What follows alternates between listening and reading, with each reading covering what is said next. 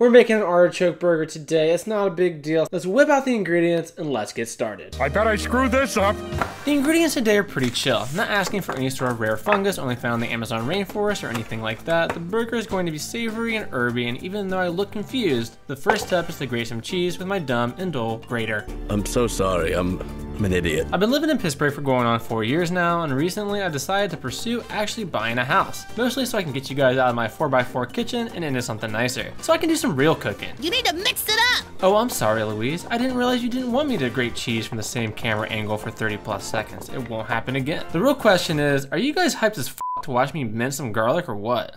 Oh, no. If I wanted to feel like a loser, I'd just call my kids. Unrelated, but one time I was walking home from the bars during a night out in college with some friends, and someone leaned out of a moving car window and drilled me with a powdered donut in the chest. It left me impressed with their aim, but also confused. Is nothing sacred? Can't I just take out the trash one time without getting hit on by some perv? So now every time I go outside or even see a Dunkin' Donuts, I have PTSD. Thankfully, Kevlar vests aren't that expensive, and I'll be ready for the next time. With the garlic getting to a nice level of minced, I have to say we are on the right track. Mm, more like a swing and a miss. Alright, so we need to continue prepping with some fresh herbs. So call me Herbie fully loaded because this buggy is racing ahead full speed. The smell in the kitchen is starting to come alive, the energy is electric, and I just might be falling in love.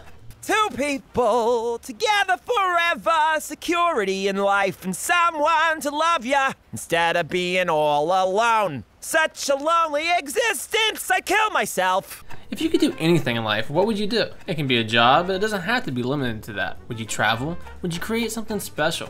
I think I would love to open up a pub in some beautiful location, maybe Ireland. What a great way to bring happiness to people. Unfortunately, reality loves to rain on the parade. Taking our jobs, marrying our women. But as I approach 30 years old, which is ancient depending on which 17 year old you talk to, I feel like the next chapter of my life is maybe on the horizon. The book of life comes at you fast, but I'm not sure where my story leads yet. You are the worst storyteller. Where's Maya Angelou when you need him? Anthony Bourdain is one of my biggest inspirations in life, and I would love to be able to travel around and tell interesting stories on people, cooking, and life the way he did. Imagine being able to find out what it's like to run an eatery in a small village in Iceland. I am kinda introverted though, so I bet creating documentaries like that would be a huge test for me.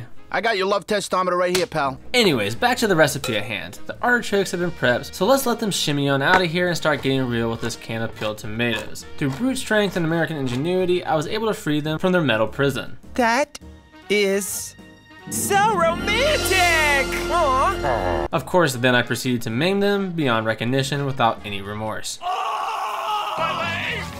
It's now time we start to get oil into the pan so we may cook and let everything sizzle. But maybe I don't want to hear it, Ron. We'll start by adding our chopped artichokes into the oil to warm them up and infuse. They will bring a distinct and tangy quality to the mixture we are preparing. If you haven't had the pleasure of using artichokes other than an artichoke dip, they are great and versatile like wearing a fanny pack at a no pockets convention.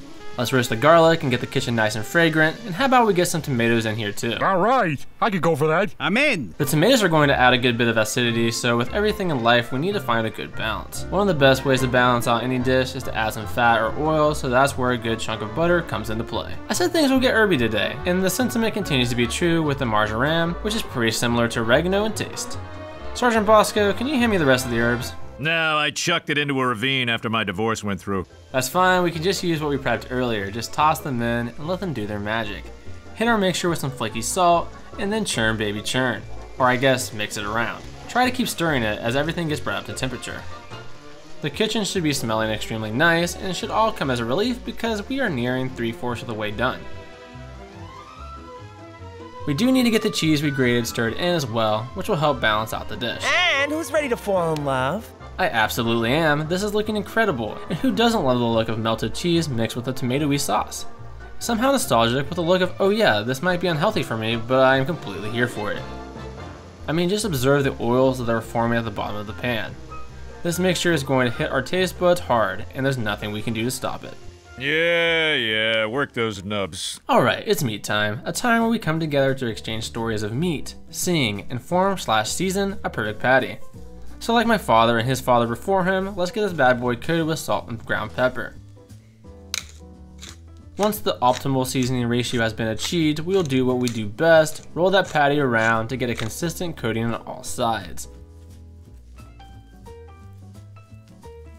Ladies and gentlemen, This is what perfection looks like.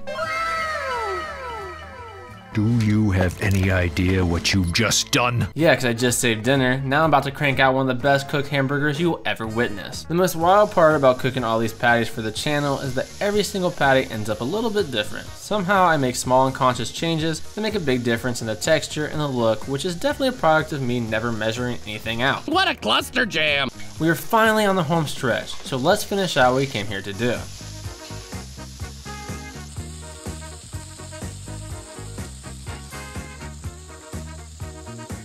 So what do you think? Should we toast our buns or leave them cold and lifeless? Very funny. Stop goofing. Alright, alright. Well, let's get the patty out of the way so we can introduce our buns to the hot pan then. Lay them down like so, and then we can rock and roll. Start with the bottom bun. Followed by a juicy patty. Top it with our artichoke mixture. And then complete with the top bun. Incredible work, everyone.